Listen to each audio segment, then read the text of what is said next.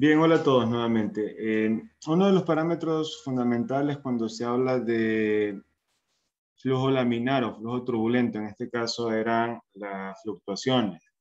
Entonces, eso incurría en que deberíamos agregar a las ecuaciones en Navier-Stokes parámetros que están relacionados con el valor promedio y con la fluctuación. Para esta explicación, vamos a hablar de la viscosidad, de eddy viscosity and eddy diffusivity, que eh, en español sería algo como que la viscosidad debido a los remolinos y la difusividad debido a los remolinos. Para la explicación de este video vamos a utilizar el gráfico que ya he puesto ahí. Vamos a asumir un fragmento o una región de movimiento turbulento a través de este plano, este plano o superficie X. A través, eh, y vamos a considerar también un plano típico paralelo que va a estar definido como desde A hasta A. Ese es el plano típico paralelo que vamos a utilizar. Y tenemos un, un fragmento de fluido, que lo vamos a llamar 1, y que es movido debido a las fluctuaciones turbulentas a una región de velocidad alta. Es decir, si se dan cuenta, en la parte baja tengo este vector velocidad, en la parte alta tengo un vector velocidad mayor, estamos hablando de la velocidad en X, por supuesto y por lo tanto el fluido debido a estos remolinos se puede mover hacia la parte superior, desde la región 1 hacia la región 2. Eh, este movimiento, eh, el fluido 1 ocuparía eh, la ubicación del fragmento de fluido 2 y este fluido 2 nuevamente bajaría. Dado que el momentum es producto de la masa y la velocidad, esto va a resultar en una variación de momentum obligatoriamente. Este cambio puede ser evaluado cuantitativamente considerando las componentes de velocidad. Recordemos que la velocidad U siempre la vamos a poder calcular como U promedio más la U de fluctuación. Mientras que la velocidad B la vamos a poder determinar siempre en este caso como 0 más B'. donde hemos determinado que B promedio es cero, debido a que la velocidad promedio en la dirección Y es cero. Recuerdo que esta B promedio es la velocidad respecto al tiempo, entonces se considera que esa velocidad respecto al tiempo no está cambiando, por lo tanto no tendría que ser cero. La masa instantánea el flujo de masa instantánea por unidad de área a través del el área AA va a estar dada como el resultado de la densidad por esa velocidad prima, es decir, si hay una fluctuación de B, a pesar de que B promedio es cero. Si nosotros multiplicamos esto por eh, la variación o por la fluctuación en el eje X, esto nos va a dar una tasa de cambio de momento por unidad de área. Es decir, si nosotros podemos ρ B' por U', eso vendría a ser una tasa de cambio de momento por unidad de área.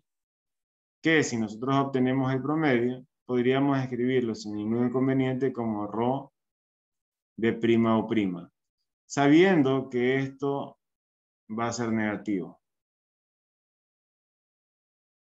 Si hacen el análisis se van a dar cuenta que esta relación es negativa. Sin embargo, deben considerar que la densidad es constante, por lo tanto sale ese promedio. De esto también podríamos escribir eh, el esfuerzo cortante. Y el esfuerzo cortante nosotros sabemos que se lo puede escribir como el negativo de la densidad por la gravedad por B' o prima. Considerando eso, y considerando también el esfuerzo cortante laminar, esto se podría determinar. Recuerden que el esfuerzo cortante laminar se establece como la viscosidad dinámica promedio dividido por la gravedad y esto por la derivada de la velocidad, obviamente en este caso promedio, con respecto a y. Es decir, recomodando estos esfuerzos, nosotros vamos a poder explicar o expresar ese esfuerzo cortante de manera completa como que el esfuerzo cortante va a ser igual al esfuerzo laminar, o sí, laminar primero, más el esfuerzo turbulento. ¿Y cómo lo podemos escribir? Bueno, eso lo podemos escribir como 1 sobre la gravedad por, y vamos acomodando, ¿no? Viscosidad dinámica, derivada de la velocidad promedio en X respecto a Y, que este término ya lo conocíamos en laminar, pero ahora aparece este término de las fluctuaciones. Considerando la ecuación que tenemos ahí, bueno, esa ecuación que ustedes tienen ahí no es usable inmediatamente, sino que deberemos conocer la medición de las fluctuaciones de las componentes, lo cual eh, no está relacionada a las propiedades del fluido. Es conveniente asumir que el efecto de la viscosidad se incrementa debido a la turbulenta y por lo tanto debía ser, debería ser necesario mejor definir una viscosidad debido a estos remolinos. Esa viscosidad debido a los, a los, remolinos que están formando ahí, o también conocido como eddy viscosity, se representa con la letra similar a la letra epsilon, es una E. Entonces se podría escribir ese esfuerzo como 1 sobre eh, la gravedad, y esto lo podríamos simplificar de esta forma, sería U más Rho E, que vendría a ser el eddy viscosity, por la derivada de la velocidad respecto a Y. De esta forma, y también recordando que eh, la viscosidad cinemática no es nada más que la viscosidad dinámica sobre la densidad, lo podríamos escribir de la siguiente manera. Gravedad sobre ρ. Esto es igual a nu más e, que multiplica la derivada de la velocidad respecto a ella. Esta vendría a ser una ecuación válida para el análisis, al menos turbulento hasta el momento. Sí, en lugar de hablar de un flujo paralelo, nosotros hablaríamos de que existe un flujo bidimensional turbulento, entonces se debería reescribir eh, el esfuerzo ahora en X, ¿no? Entonces quedaría algo como que el esfuerzo en X es igual a 1 sobre la gravedad, y bueno, eso lo podemos escribir como viscosidad dinámica derivada de U respecto a X. Lo único que estoy haciendo es cambiando los términos para la, el otro tipo de viscosidad, en la otra dirección, que ahora cambiamos eh, de prima por U prima. A partir de esto, nosotros podríamos hablar de que eh, tendríamos la viscosidad eh, de viscosity. Asimismo, podríamos hablar un poco de la viscosidad, eh, la difusividad debido a los remolinos.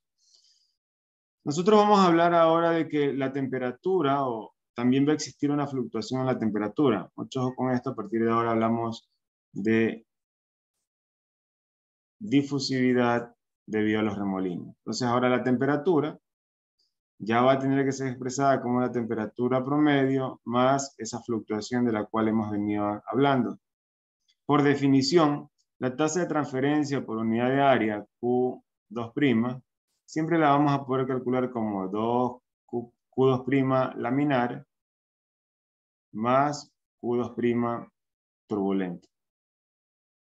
O lo que es lo mismo, eh, si hablamos de la transferencia de calor laminar, sería K, aplicando la ley de Fourier, derivada de la temperatura promedio con respecto a Y, la transferencia de calor en una placa horizontal siempre va en esa dirección, de la placa hacia afuera, en este caso hacia arriba, y le sumamos eh, la densidad calor específico de la velocidad, en este caso sería la velocidad en Y, pero solamente la turbulenta o la fluctuación, por la temperatura que fluctúa porque la transferencia de calor se da en esa dirección, en la dirección vertical. Pues. Esto lo pueden escribir sin ningún inconveniente como menos K más Rho, calor específico, eddy diffusivity o difusividad debido a, a los remolinos que se forman, por la derivada de la temperatura respecto a Y, o el gradiente de la temperatura. Como nosotros conocemos por transferencia de calor básica, de que La, la difusividad siempre la vamos a poder escribir como K sobre Rho C o K sobre Rho P. Esto lo podríamos reescribir como Q2' por CP, bueno, podría ser sobre CP sobre Rho. Esto va a ser igual a menos alfa más E, que sería la difusividad térmica por los remolinos. Y la ecuación quedaría de esta manera. Similar a, se ha hecho un análisis similar tanto para eh, la ecuación de momento como la variable de velocidad, como para el campo de temperaturas. Es importante conocer que eh, T' ha sido eh, considerada en el análisis y ahora tienen forma idéntica, por lo tanto eso podría servir para la resolución de problemas de turbulencia en este tipo de parámetros. Sería todo por el video de hoy.